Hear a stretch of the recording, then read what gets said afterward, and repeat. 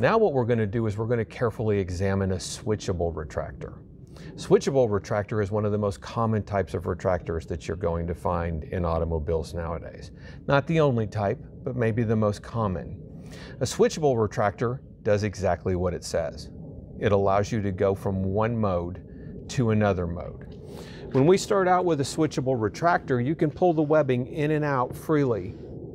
This accommodates your older children or your adult passengers and allows them to stay in the seat and allow the seatbelt to function in a pre-crash position if that were to happen.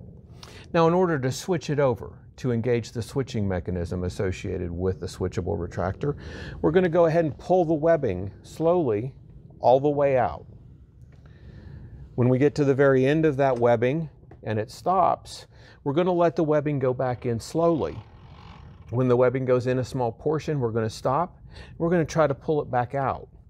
You're going to notice that the webbing won't come back out. And as it was retracting, you're going to notice that you could hear a clicking sound in most cases. What we have done is we have switched that retractor from its emergency locking mode for your adult passengers to an automatic locking mode. An emergency locking retractor will only lock in an emergency, such as a sudden stop or a crash. The webbing will flow freely unless pulled upon quickly. Correct installation of a car seat requires the lap portion of the seatbelt to be locked at all times. To secure a car seat with a switchable retractor, you must switch the retractor from emergency locking mode to automatic locking mode. To do this, pull on the seatbelt webbing slowly until you can't anymore.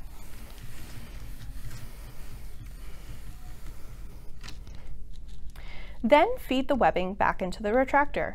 You may hear a ratcheting or a clicking sound. You know the retractor is locked if the webbing will only shorten and not lengthen any further. To reset the retractor back to emergency locking mode, you must feed the webbing all the way back into the retractor. It will then unlock and flow freely again. When a switchable retractor is locked, the seat belt will only shorten. It will not lengthen. To reset to the unlocked position, unbuckle the belt and release the webbing back into the retractor. Check the seatbelt label. It often provides clues as to what type of retractor it is.